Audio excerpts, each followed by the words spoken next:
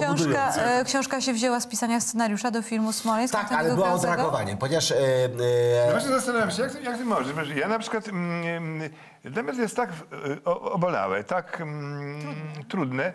I Ja nie umiałbym sobie wykrzesać powiem, e, fantazji, wyobraźni wokół tego A jak jeszcze. to poradził sobie Henryk Sienkiewicz, żyjąc już ponad wiek w kraju z- kompletnie zniewolonym, Ale tak K- oddaleniu jednak. Nie, czekaj, w kraju, w kraju, który jest, był pozbawiony szans i nagle on sięga do tamtego baroku i pokazuje tą Polskę wspaniałą, wspaniałą w ostatniej godzinie, bo za chwilę zapadnie, zapadną mroki saskie i ta Polska się skończy. Nie, więc, więc trzeba, można e, to robić. E, po prostu, poza tym... Na pewno można, Każdy tylko szuka, podziwiam, każdy wiesz, szuka, no, właśnie, ale chcę, bo- bo pojemność zadałaś pytanie, chcę się zmieścić w czasie o Smoleńsku. Otóż Antoni Krause zwrócił się do mnie z propozycją, to była jego od początku e, propozycja opisania e, tragedii smoleńskiej, e, tego, co się zdarzyło. E, przy czym on to chciał powiedzieć w, ta, w takiej konwencji, jaką znamy chociażby z Czarnego Czwartku, czyli z konwencji e, paradokumentalnej. Moje sugestie w tym pierwszej wersji scenariusza mówiły, że przede wszystkim trzeba pokazać społeczeństwo, co się z nami stało.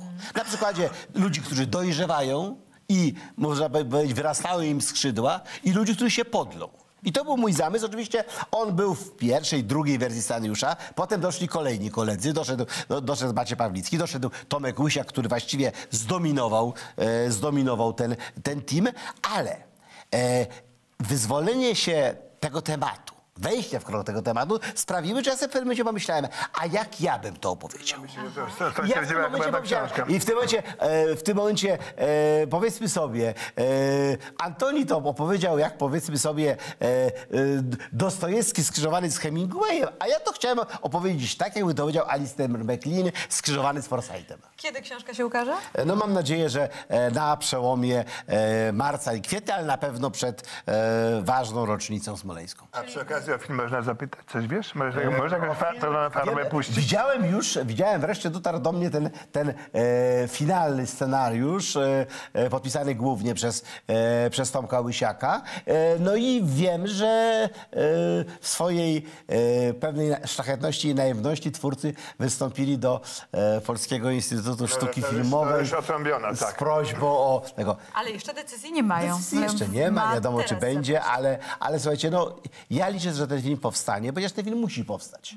Musi Prędzej powstać, a jak kiedyś powiedziałem, e, będą setki, dziesiątki filmów na ten temat, ponieważ jest to e, może jedno z najważniejszych zdarzeń e, w historii Polski, a na pewno trudno mi znaleźć coś, co dorównywałoby dramatyzmem. Ponieważ waga, ona, historia może ją skorygować. Natomiast dramatyzm, ładunek cierpienia, ludzkich emocji e, i tego, co się z nami stało wskutek tego, jest po prostu praktycznie... Porażający, użyjmy tego słowa, jak, jak, jak, jak gdyby no, już, już no, sprzedanego.